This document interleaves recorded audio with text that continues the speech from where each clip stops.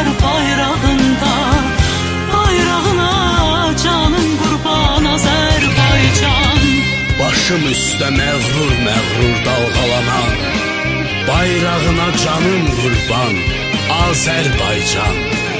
Ruhuma can, cismim üçün vətən olan Torpağına canım qurban Azərbaycan.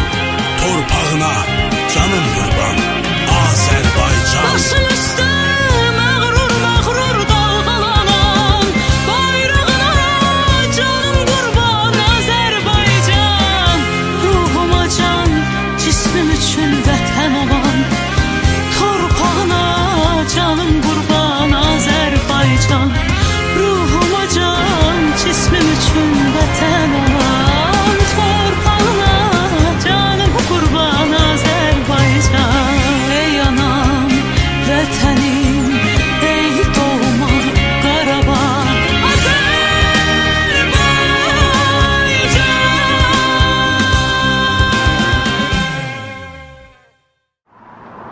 Şehitler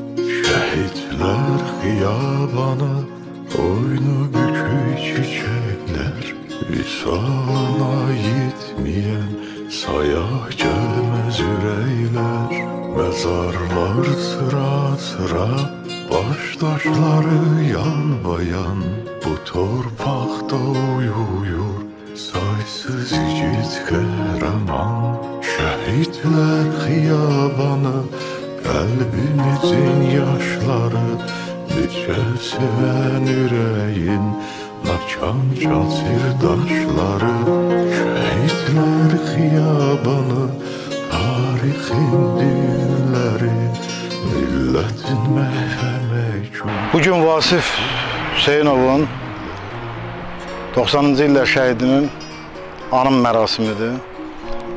Bu anım mərasimi biz e, qələbədən sonra keçirdirik.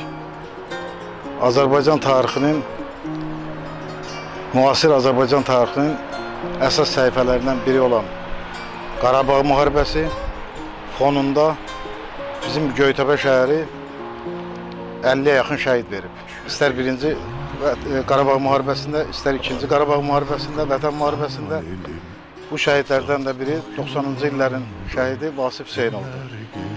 Vasif Hüseynov 2 nömrəli tam orta məktəbin şagirdi olub, müəllimlərin fəxri olub, öz davranışı ilə seçilən şagird olub, o könüllü olaraq cəbhəyə gedib və 93-cü də şəhid olub.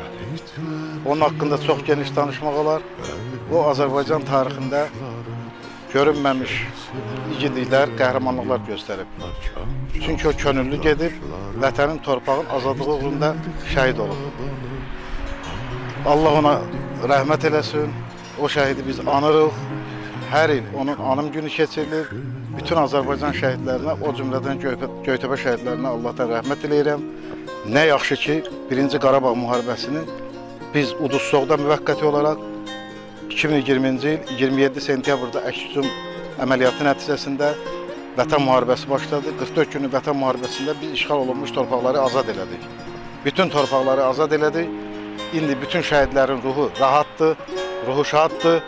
Çünki Azərbaycan ordusu, müzəffər Azərbaycan ordusu şəhidlərin qanın yerdə qoymadı və biz qələbə ilə, zəfərlə qələbəni başa çatdırdıq. Azərbaycanın müstəqilliyi, suverenliyi bərpa olundu.